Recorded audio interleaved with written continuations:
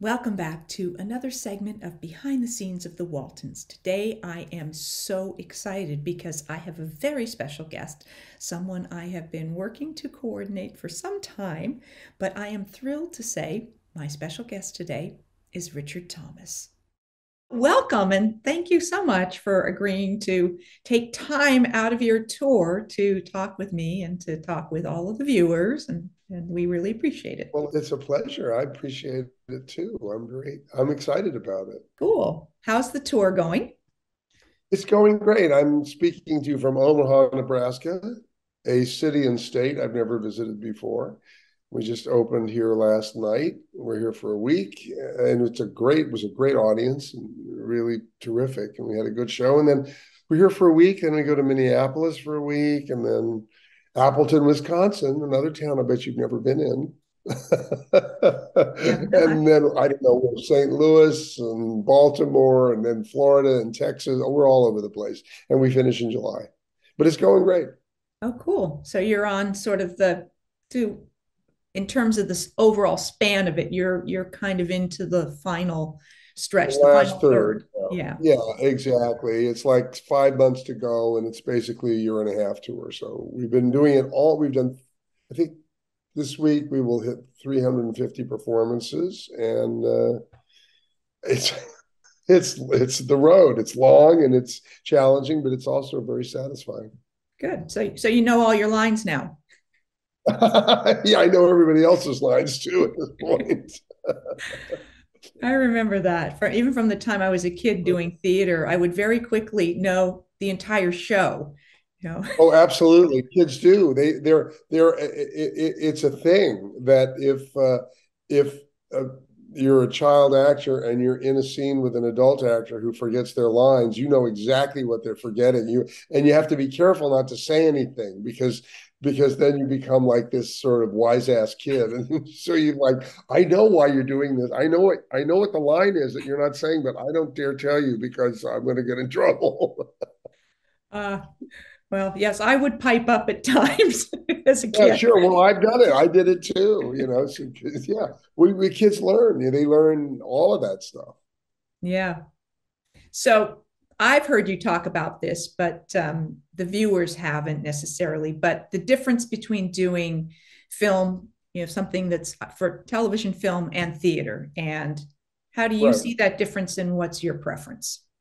Well, there are areas in which I don't have a preference. You know, I mean, acting is acting, and and the the um, the excitement of working with people that you uh, enjoy being with, and that sort of that conditional intimacy that you have and the experience of doing it and of course wanting to tell the truth and give the best performance possible all those things are the same and and one is not preferable to the other in that respect uh, great thing about film is that it's it's like detail work you know it's like um, painting cameos you know very small very specific details. And there are things that the camera will see as you yourself have pointed out when we've been on panels that you know there are things that the camera will see that you cannot see past the third row of of, of a theater. Um, and also the camera is mysterious in that it allows you to look at the face without knowing maybe what the what the person is thinking at all which is a very can be very mysterious in that respect uh, the the idea of working in the detailed way over and over take by take is very fascinating and, and interesting. But my preference of the two is uh, always has been theater and always will be, not because I think it's better or more virtuous somehow. I just, I like the experience of it. I love the live, I love playing with an audience. I love doing the play from start to finish. I love getting a response. I love being able to go back night after night and refine it and work on it and check on it and you know learn more about it and add something that I haven't you know especially when you're doing a long play like this over a long period of time. You know the, I've had many insights about the role over the last few months that I would never have been able to have rehearsing and shooting on a set doing a scene in one day um, and you got to have material that's good enough for that but when you do, it's really an exploratory process. It's very interesting and exciting. And I like another thing I like about theater is that we all come together in the theater together at the same time in the evening and tell the whole story together. I, I don't know how many times, and I know you've had this experience as many times as I have. You know, you go to the wrap party for a show, a movie, you know, or an episode of a series or a series, and you meet people who are in the show who you've never met. Not only not only have you not been in a scene with them, you've never met them, but in in theater, even if they're actors who you don't have a scene with, you get to hear you get to watch them from the wings or you get to hear their voice and hear how the scene's going so that everybody is actually a part of the whole story all the time and I, that's a that's a thrilling part of it for me yeah you definitely have that sense of community with the whole group yes. um, it can't yeah for us, of course, with the series, you have that because we just sheer amount of time that we. I mean, probably more time. I mean, we probably spent more time with each other week to week, or as much certainly as we did with our own families. Yeah, often more. Yeah. Yeah. So Waltons, let's go yeah. back to the beginning. here you were. You I, now. I gotta tell. you, I gotta give you a real disclaimer here. Yeah. At my age, uh, you you will probably be reminding me of things that I've gone way out of my head. It happens to me all the time too. So we we are going to take some broad strokes. um, you That's rem- perfect. You remember being cast. I remember. I remember being. I remember. I was in my parents' ballet school on Broadway and I don't know, 83rd Street, 84th Street, getting the call, speaking with my agent, uh, getting the offer uh, for the homecoming. And uh, I was thrilled with that first phone call because I learned that Pat Patricia Neal was in it, and I was very excited about the idea of working with her. And then, of course, you know, then they set the script, and it was fantastic. And you know, so I remember I remember the phone call actually about the homecoming, inviting inviting me to be a part of that. So you were living in New York at that point. So the connection to playing, how did you what did you bring? What was I know you have connections to Kentucky and so creating this yeah. character uh, i mean i was i was born and raised in la so what did i know about being a country kid i learned it on the show for you i think you had some other right. things to pull from i did i did uh, judy it was it was wonderful for me because i spent really the happiest some of the happiest times of i mean i had a pretty happy childhood so but but some of the happiest parts of it were spent every summer of my childhood and uh, young early manhood going to visit my grandparents on their farm in eastern Kentucky, which is really out in the country, especially in those days. Now it's a little bit more suburban. It's a little bit more there. There are more homes, and there's been more. The roads are better and all that. But but it was real country, and they had a farm, and and I just went. My parents dropped me off right after school, and I stayed there three months and just spent the whole summer there with my cousins and playmates and we had horses and we had we had all that stuff. And so uh, and i had the sound of it in my ear too mm. uh, of the accents and the way people spoke and and how they expressed themselves. So it was a wonderful opportunity and really my first opportunity to bring that whole part of my life into the work. Um, and I, I felt so comfortable. I felt like i know i know who this kid and because he was an artist you know because because he was a bit of an outsider even within that circle uh, f- from his artistic viewpoint, you know, watching everything and observing everything. Um, I felt like I got the country part of myself that I could bring, but also the artist part of myself, you know, that I could bring because John Boy was that as well. So it was a it was a terrific opportunity to bring big parts of me to the that were all, that were sort of like in me to the to the role. Do you have any recollection of like first impressions in the homecoming of this gaggle of siblings that you were handed? I do. I just have the best. I have the most wonderful memory. I, I remember Jackson Hole as being just a wonderful time for all of us. And we weren't even there that long, I don't think. Were we? It was like a week. Long Yeah. Yeah. But it was very special because we were all, and we got snowed in at one point in the hotel. and I think that's when Edgar Bergen came down and did his performance for us. Yeah. With the puppets. But, but, uh, I felt by the time we got back together to do the series, all of us kids, I felt so bonded with everybody. All we'd already made a family, you know, and then we did all those scenes at Radford at CBS, right? Yeah. It was, yeah, yeah, all those stuff in the barn and all. I, I just, I think we all, I think we got each other very quickly, and created a family very quickly. Yeah, I, I had that that same. It was sense. clear early on too. We were going to do a lot of laughing. yeah.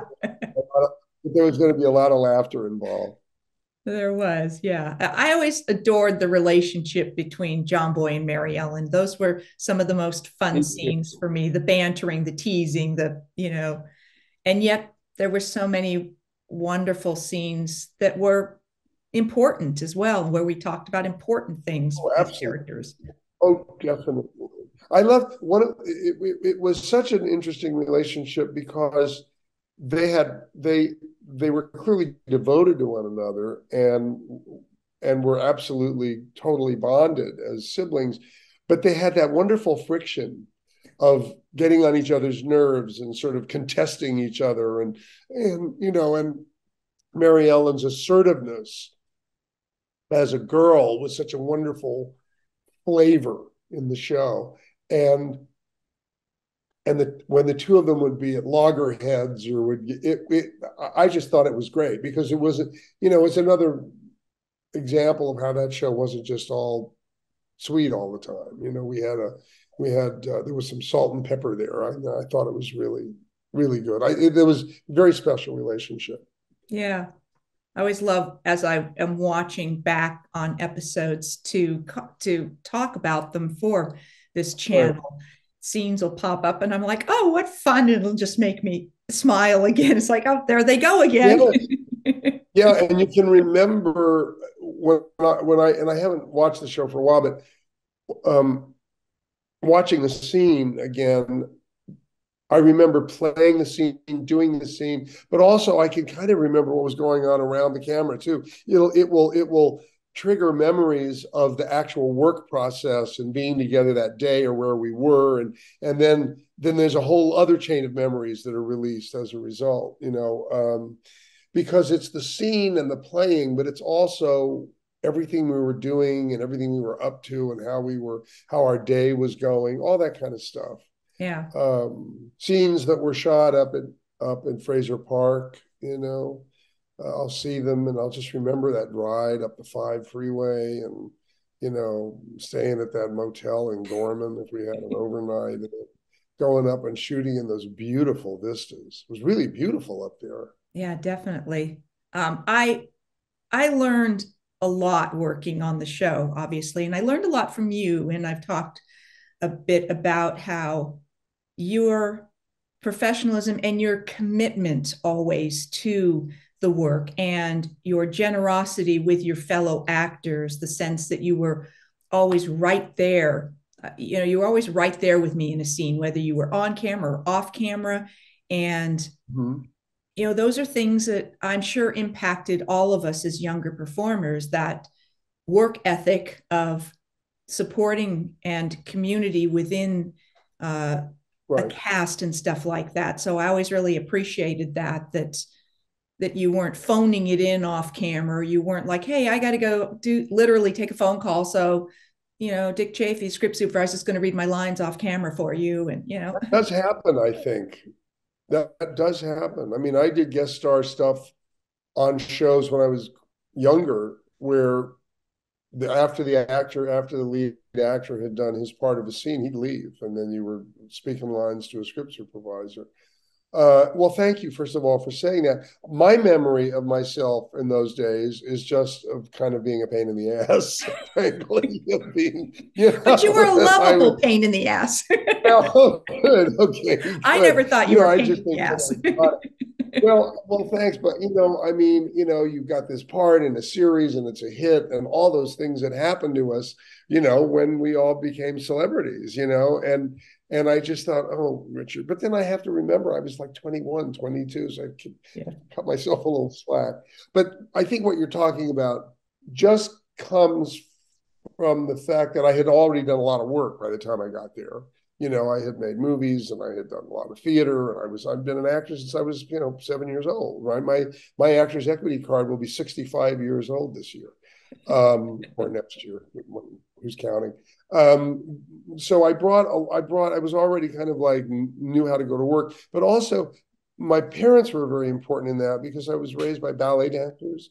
Um, and I had models at home for how to go to work in the theater and how to be a member of a company, uh, which all dancers do. So, so the the, the sort of the um, showing up, if you will, or the, the, kind of professionalism or the just looking at yourself as one actor in a company, that all was inculcated in me by my parents as I was watching them work, being a, a child watching the dancers work together and then doing my own work as a kid. So all that went together to sort of create a sort of uh, a, maybe a more disciplined uh, approach, you know, and also always looking at it just as work. You know what I mean? Mm-hmm. The ego stuff is all there when you're having a success, but it's it's the it's your job. It's a it's a job of work you're going to do. And when you're playing a scene, and say you and I are playing a scene, um, it's all focused on just that the presence of your partner and making it real and true. That's the thrilling part of what we do. And uh, so I was always able to just keep focused on that, on the work aspect of it, mm. you know, you know, yeah. while my ego was being up like people believe. I mean, we all went through it and we came out the other side, which is good. we did. We did come out the other side. Here we are. It's true, Judy. yeah. I want to thank Richard so much for coming to be a part of this, and I will be back with more of that conversation with Richard very soon. Thanks for watching.